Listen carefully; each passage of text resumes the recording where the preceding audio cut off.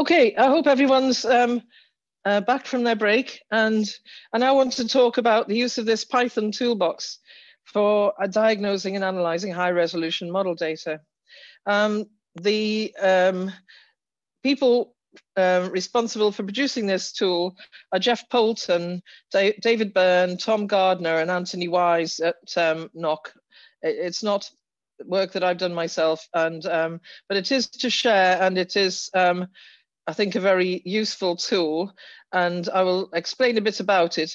Also, I think you should have available to you from the Google Drive some notes about um, how to set this up and then um, run it. I will be doing this in a demo version rather than a an interactive, you know, follow along with me version um, because it does take a bit of time to set up. Um, you should be able to follow along through the notes and there are various steps that you have to take and um, and then you would be able to actually um, do this exercise yourself and you would actually have have your hands on some model data and uh, I would be very happy to answer any questions if you get stuck on it. So if you are going to do the exercise, you need to download um, the little um, guide and also a couple of um, data files that are there as well. So anyway, right.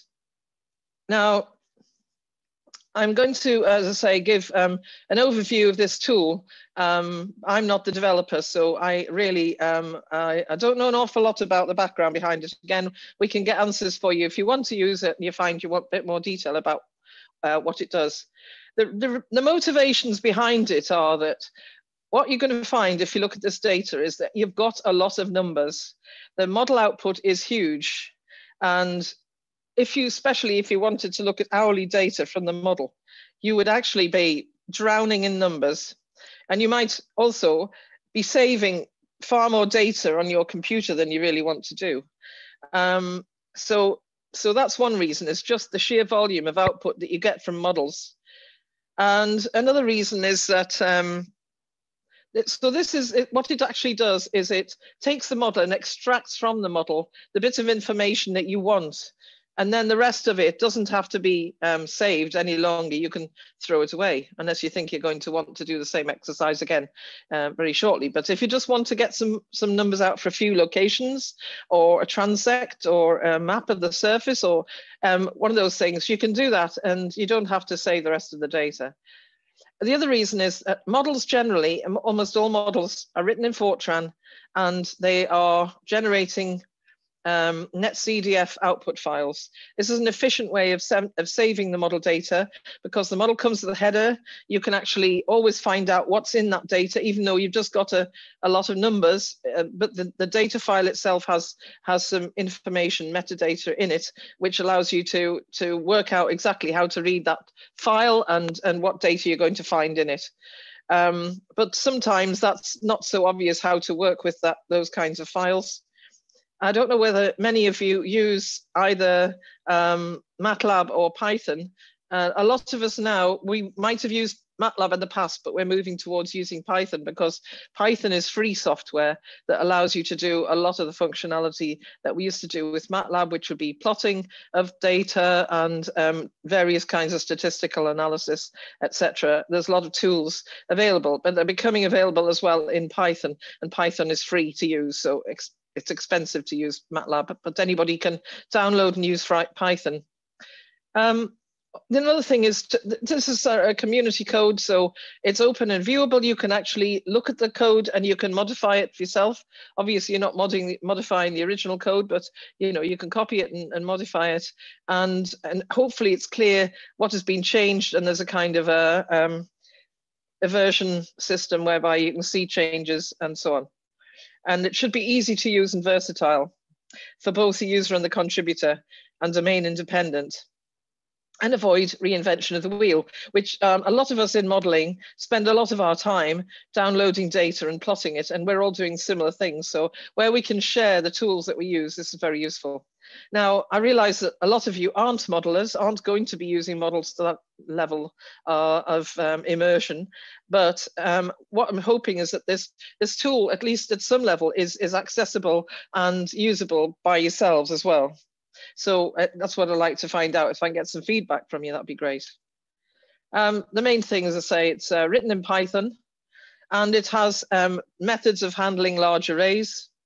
And it has an object-oriented framework. This is good because that means that you can understand when you have an object, it has certain characteristics and you usually have the same type of structure and it's relatively easy to see what's going on.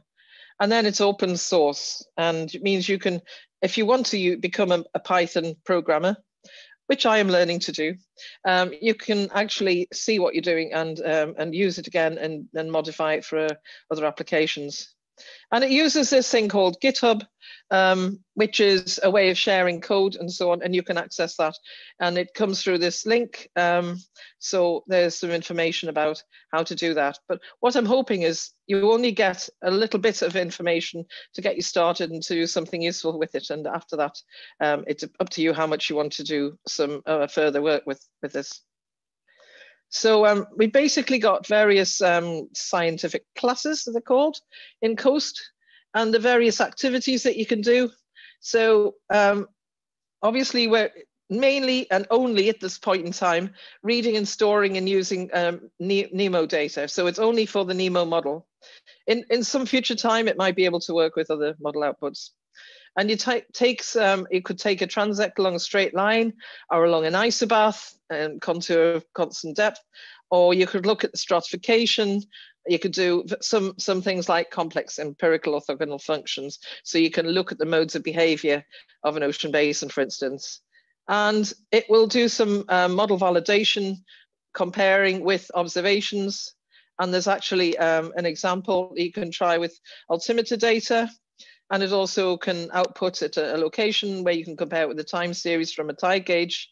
And there may be other options in the future. So the data set has um, certain dimensions.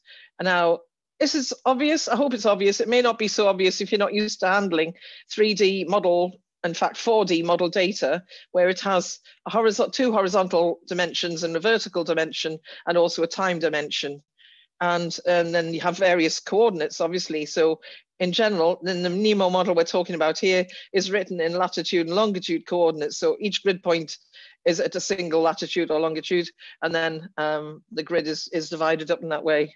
And then we have uh, the names of the variables, which could be sea surface height or currents, east component, north component. And then we have these um, net CDF attributes. So, so um, the definitions like the things you want to do, file reading, initialization, basic manipulation of the data, analysis, and quick plotting. So first of all, um, you want to um, read um, some data from a file. And the file name, it's not going to be exactly what's written here, but the NEMO file, the, the actual model data file, would be something like NEMO, grid, and T and .nc is the netcdf um, file extension.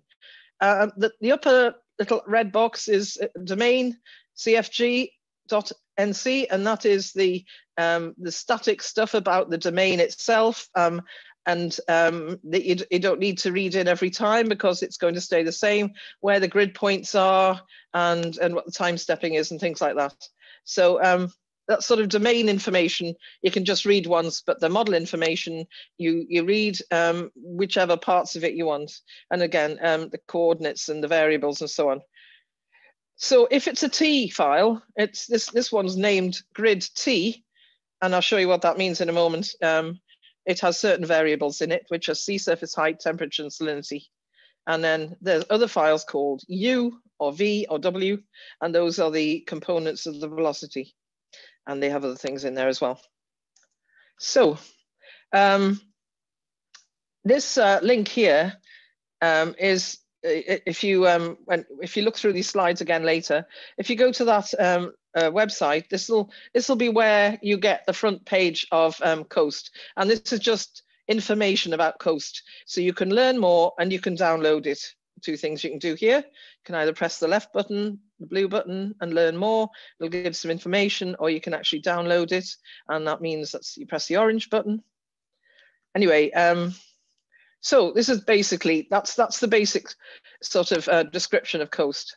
And like I say, it's uh, meant for high resolution model data and um, with a standardized data structure and written in Python 3.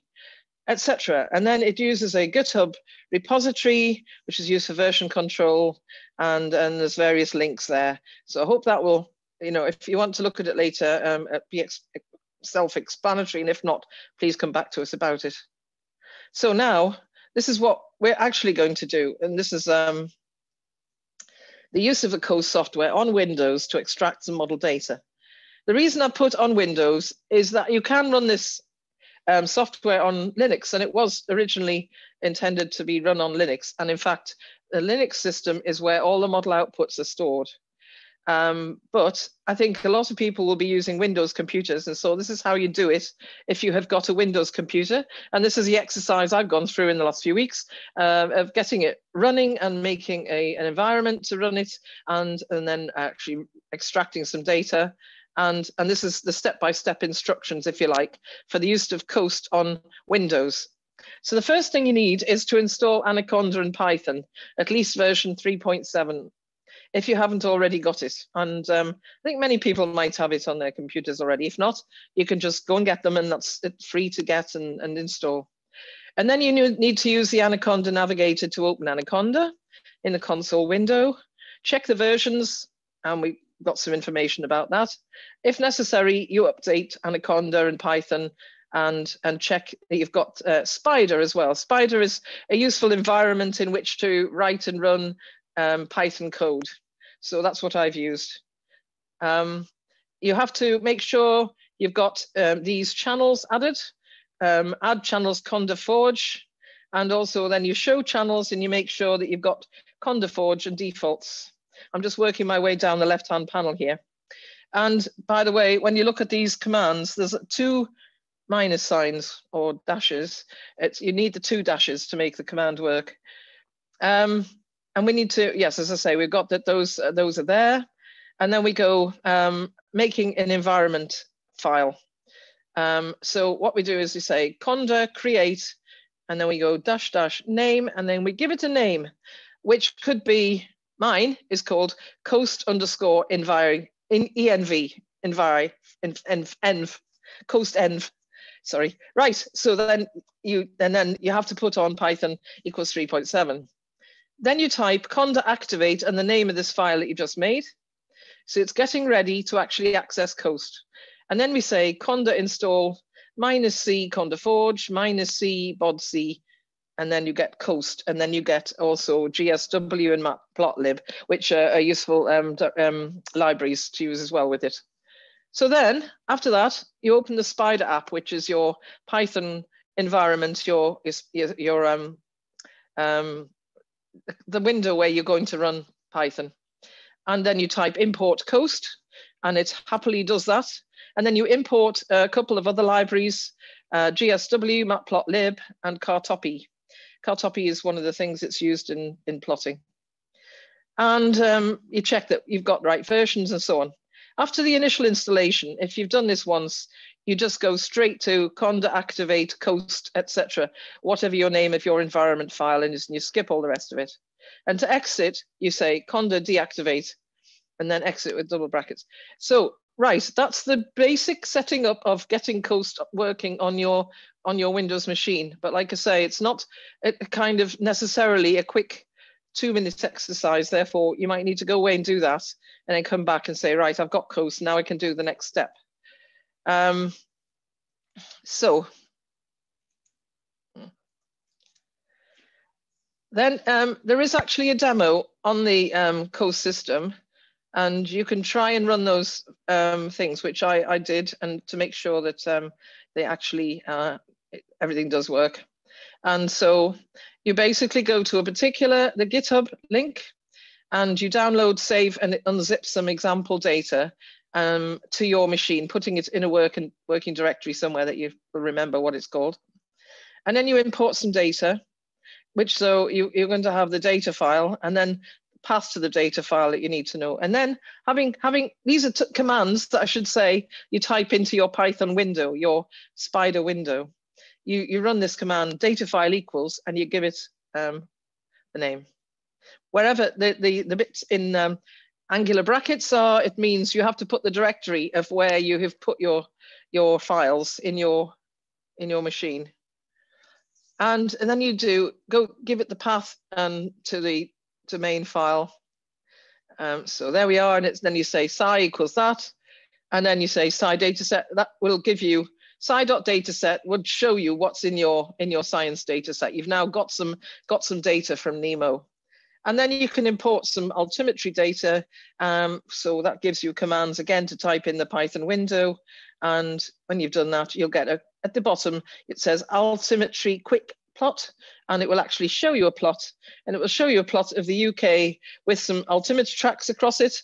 And, and that's basically the end of the exercise. Now that's just a demo. The information is all there when you go to these links and that's checking that things are, are there and working. Then we want to do our actual exercise. And I'm going to show you how I do this in a minute. But um, first of all, you need to get some data. i've put some data sets for you on our anonymous FTP site. And you have to connect using that link, which is FTP, etc. live FTP, noc.ac.uk, noc, jaw pub. That's me, jaw and pub. So that's all our names are going to be like that. And then you after after that, you have to click, you'll see a directory structure and you click on the data directory and then select a subdirectory, which has got no rivers and download a model output file. I'm going to show you in a moment on some other screens um, this where, you, where what you'll see when you when you actually do this. Um, I've sent you on the Google, Google Drive, um, you've got a Python script, which is called analysis extract model time series carib.py. And that will access the time series data for selected locations. I've already entered these 40 locations. So what it actually does is it produces a time series.nc file, which you can read in Python, MATLAB, or QGIS, or other things that you might use. For instance, if you can convert it to a CSV file, and you can import it into Excel. And this is the example plot for the um, data that I've just um, downloaded. And this is from um, one of these rivers runs. I actually, when I've saved the file, I cut all the front bit off because the front bit is the same on all the file names. So I shortened it to run one. 1M means one monthly data. In other words, it's averaged over a month and it runs from 2010 01, 01 in other words, 1st of January 2010 to 2010 12 31, which is the end of December in 2012, uh, in 2010.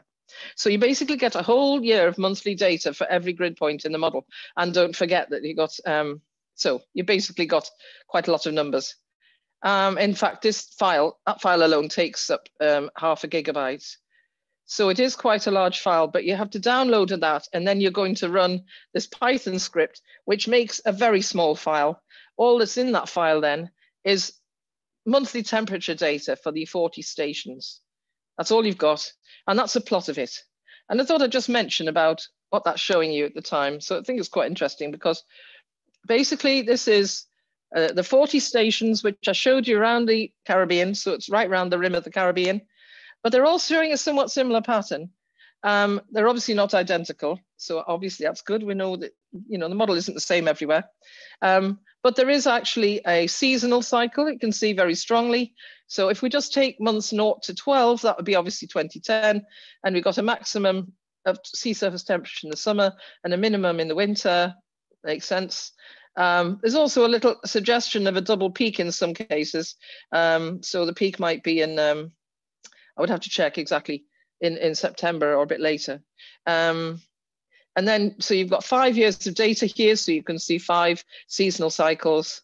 And um, I don't know what else I can really say about. Oh, yes, yes, there was one other thing I was going to say about it, is the amplitude of these, these seasonal patterns seems to be reducing. So actually, the maximum, there seems to be a trend of the maximum temperature is reducing over that five years. And don't know whether you can see that and whether that's um, a really strong signal. There's only five years of data, but it does suggest that there is actually um, a trend. I'm not saying that the temperature is going to decrease by no means, but it just happens that over 2010 to 2014, at the stations I pulled out, but that looks like a fairly representative sample. The temperature in the, in the Caribbean is actually reducing slightly over the over those years.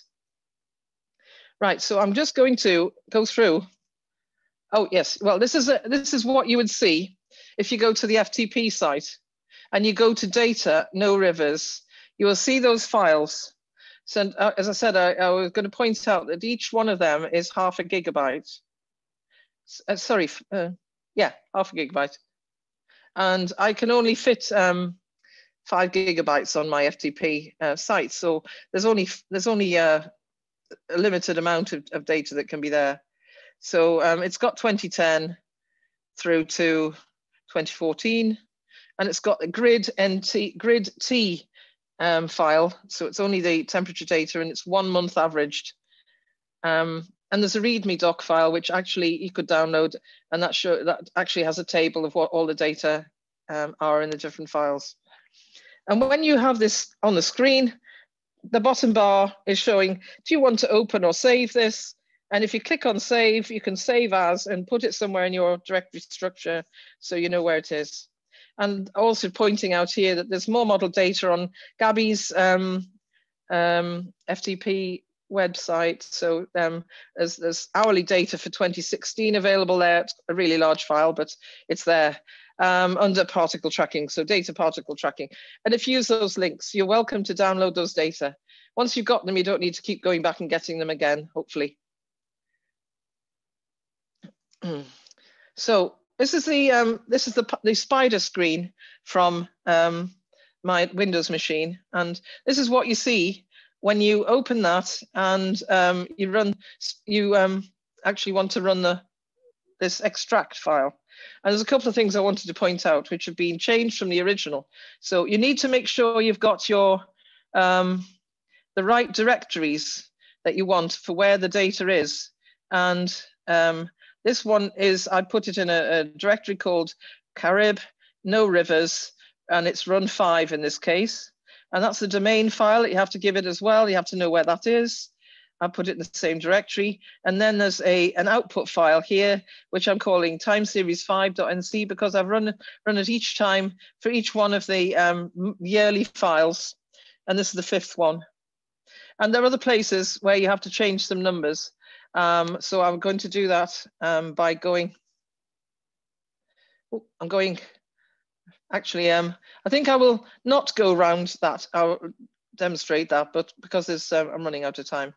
So summarizing, we believe that ocean, accessing ocean data is important for understanding ocean and coastal processes, coastal hazards and climate change, and various sources of ocean data exist, which you can access even if you're not able to collect data directly with observational data yourself.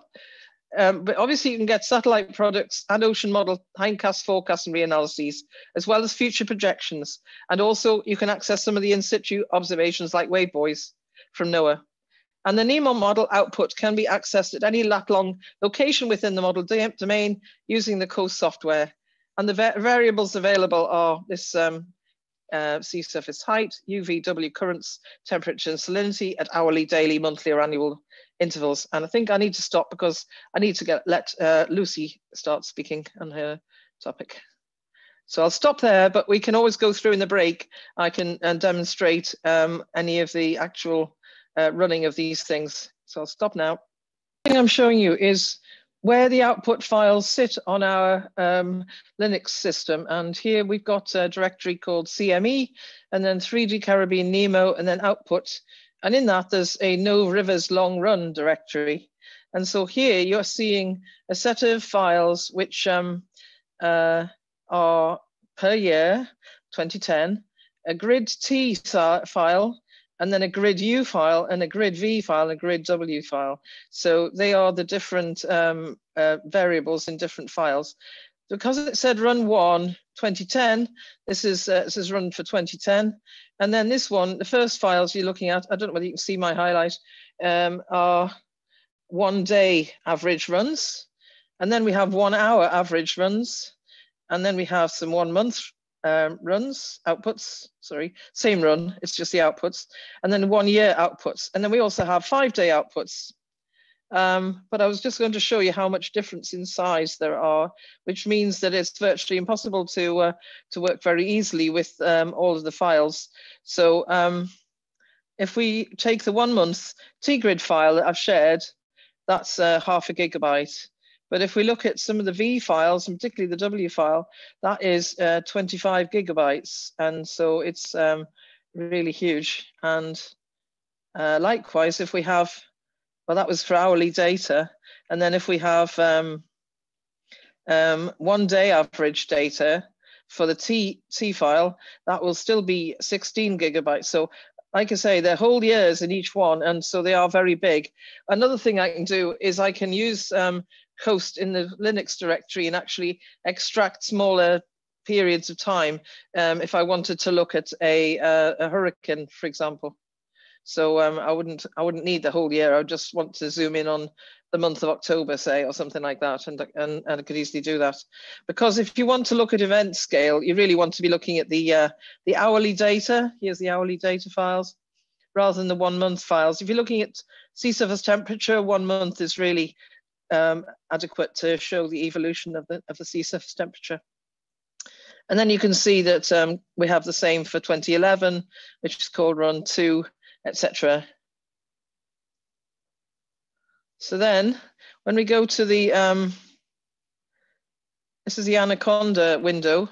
And from that, I've started Spyder. This was some of the setting up that you have to do in your Anaconda window. Oops, haven't shared it again. Share it first or it doesn't do anything. Uh, share screen. Yeah, so that is my Anaconda window. And I've done various commands which are doing to do with setting up the environment, um, little coast environment uh, script, and so on. And so that's there. And I'm now going to stop sharing that one. And the more interesting thing to look at is when you um, when you go into Spyder, which is the Python environment, what you actually see